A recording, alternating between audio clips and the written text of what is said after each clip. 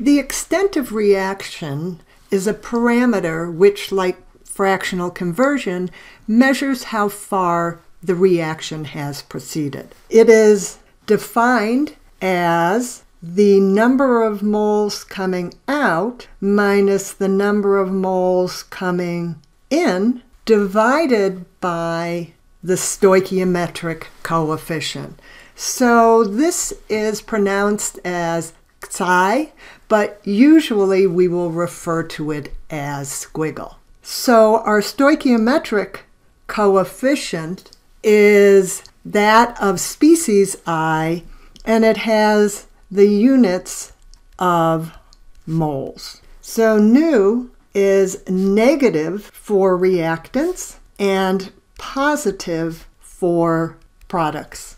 We can also use this expression as a flow rate, but the quantity still remains unitless. So for any reaction, the extent of reaction stays the same.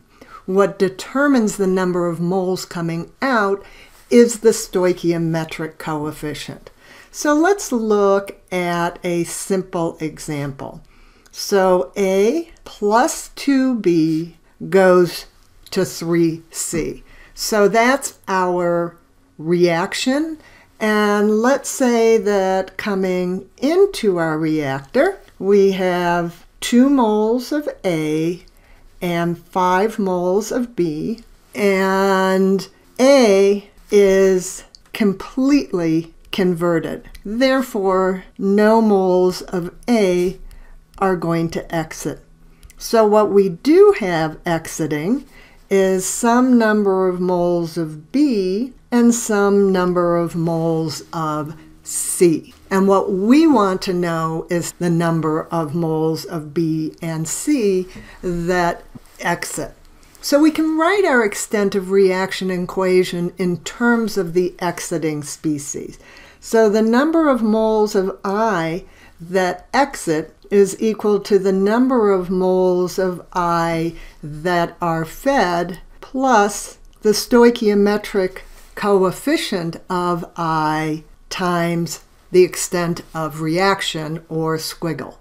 So let's write out our equations. So for species A, coming out, we have zero moles, and that's going to equal the two moles that came in minus because this is a reactant 1, which is the stoichiometric coefficient, again in units of moles times our extent of reaction. We do the same for B, so this is what comes out, and again, it's in moles, is equal to what came in, which is 5 moles minus 2 moles, the stoichiometric coefficient, times our squiggle. And again, it's negative because it is a reactant.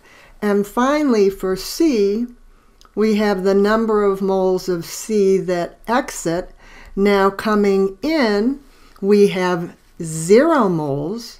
And because it's a product, it's plus 3, and again the stoichiometric coefficient, times our squiggle. So based on equation A, we can find that squiggle is equal to 2, and substituting that value in the other equations, we get that n sub b is equal to 1 mole, and n sub c is equal to 6 moles.